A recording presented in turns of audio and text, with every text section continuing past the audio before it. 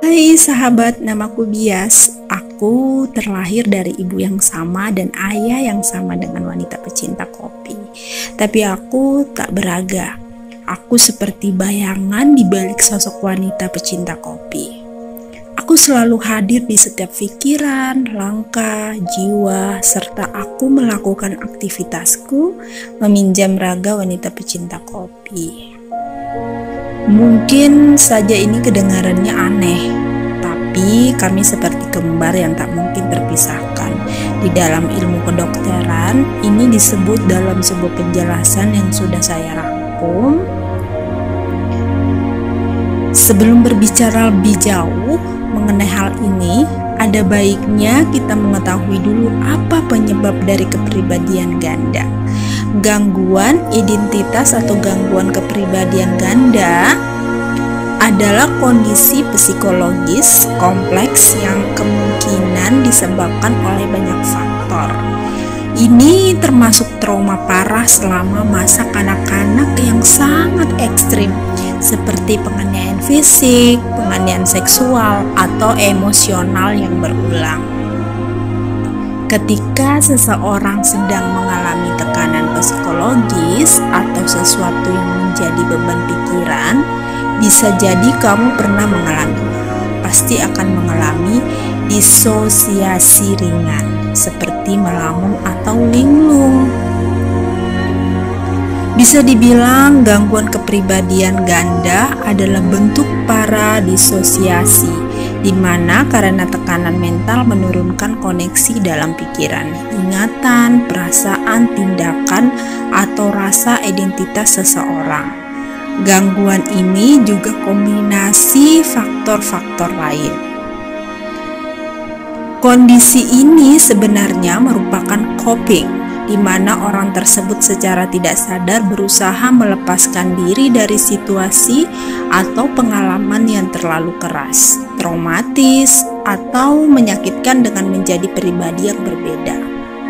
Seperti yang dijelaskan dalam jurnal kesehatan yang dipublikasikan American Psychiatric Association, terkadang beberapa kepribadian tersebut menyadari informasi pribadi yang lainnya ada kecenderungan juga beberapa kepribadian tampaknya mengenal dan berinteraksi satu sama lain dalam dunia batin yang rumit. Pergantian kepribadian dan kurangnya kesadaran tentang perilaku seseorang dalam kepribadian lain sering membuat hidup kacau untuk orang dengan gangguan identitas. Ketika kepribadian yang satu berinteraksi satu sama lain, dalam tanda kutip pribadi yang sesungguhnya kerap mendengarkan percakapan tersebut dan menganggapnya sebagai suara-suara yang mengganggu. Orang yang memiliki gangguan kepribadian ganda juga kerap mengalami distorsi waktu dan amnesia. Mereka sering memiliki masalah dengan masalah kontrol, kontrol diri, dan kontrol orang lain. Selain itu, orang dengan gangguan kepribadian ini cenderung mengalami sakit kepala parah atau sakit tubuh lainnya dan dapat mengalami disfungsi seksual, tetapi tidak terjadi pada semua kasus. Bagaimana tahu seseorang mengalami gangguan kepribadian? Itu pertanyaan yang logis ya sahabat wanita pecinta kopi dan bias FM. Setidaknya dua identitas atau status kepribadian ini secara berulang mengendalikan pikiran seseorang. Ketidakmampuan untuk mengingat informasi pribadi penting yang terlalu luas untuk dijelaskan untuk sekedar dianggap sebagai kealpaan biasa. Gangguan ini bukan karena efek fisiologis langsung dari suatu saat, misalkan mengkonsumsi alkohol ataupun narkoba ataupun merokok. Pada anak-anak, gejalanya tidak disebabkan oleh teman bermain, hayalan, atau fantasi lainnya. Dan menurut David Spingel, Profesor dan Associate Care of Psychiater dan Behavioral Science dari Stanford University School of Medicine, sekitar 97 hingga 98 persen orang dewasa dengan laporan gangguan identitas kepribadian mengalami pelecehan saat masa kanak-kanak. Terbentuknya pribadi-pribadi yang berbeda tidak lain adalah respons dari sistem perlindungan diri dalam upaya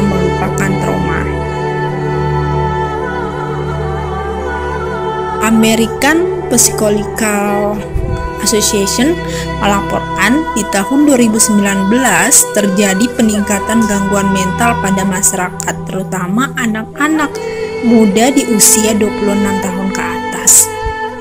Mendeteksi dini gangguan mental adalah salah satu upaya mencegah resiko yang lebih besar terhadap kesehatan mental.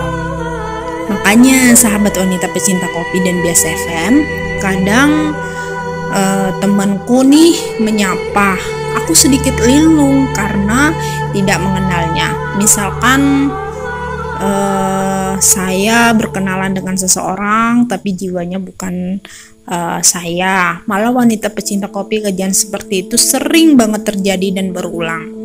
Dan bahkan masalah asmara pun begitu. Saya punya pacar sendiri, wanita pecinta kopi juga punya pacar sendiri. Dan sering melupakan hal-hal yang uh, saya lakukan dan itu sangat sulit untuk diingat. Dan jika seseorang menganggap hal ini aneh ataupun tidak berlogika, dan kadang nih uh, saya dibilangin sedikit agak stres atau mungkin aneh ya, banyak tanggapan yang seperti itu. Tapi bagi saya ini sangat luar biasa dan saya mempunyai lima kepribadian dan sangat beruntung memiliki hal tersebut karena saya bisa mempunyai teman curhat yang tak terlihat. Saat pikiran dan hati saya di sana akan ada sesuatu yang memberikan jawaban. Ide-ide tentang penulisan, ide-ide tentang karya yang bisa saya bagikan sahabat online merupakan sebuah diskusi dari karakter yang saya punya Intinya, apa pun itu, jalani hidupmu dengan baik. Tak ada alasan untuk tidak bahagia, apalagi membahagiakan diri sendiri. Ya, inilah kata dan logika hari ini. Semoga bermanfaat. Salam hangat secangkir kopi. Jangan lupa bahagia. Bertemu lagi di episode selanjutnya. Kata dan logika bersama Bias FM dan wanita pecinta kopi.